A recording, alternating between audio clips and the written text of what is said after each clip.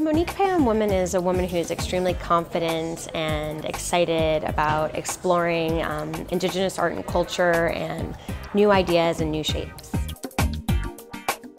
Get my design inspiration from Indigenous art and culture. I love to travel and the whole idea behind the line was to work with local artisans around the world and to be able to learn from them about their art and their culture and their ways of life and their incredibly unique artisanal practices. And my current collection is inspired by ancient Incan architecture and art.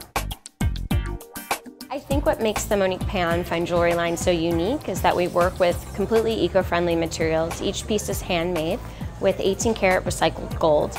When you mine new gold, it often releases mercury into the water system. So we really wanted to work with materials that were eco-friendly from top to bottom. We also use conflict and devastation-free diamonds, and each piece is handcrafted. Um, with each piece of jewelry that we sell, we work to provide clean drinking water. So through jewelry sales in the last few years, we've been able to provide clean water to thousands of people by building wells. And we've built wells now in Malawi, Mozambique, and Haiti.